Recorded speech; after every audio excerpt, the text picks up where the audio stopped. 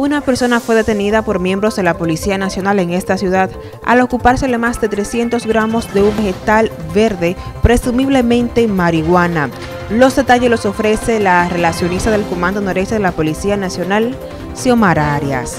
Policía Nacional apresaron al nombrado Alexander Reyes García, de 18 años de edad, quien reside en la calle Duarte de esta ciudad, por el hecho de ocupársele una funda plástica de color negro conteniendo en su interior la cantidad de cinco porciones de un vegetal verde de origen desconocido, presumiblemente marihuana, con un peso aproximado de 347.7 gramos, aún no determinado por el INACI.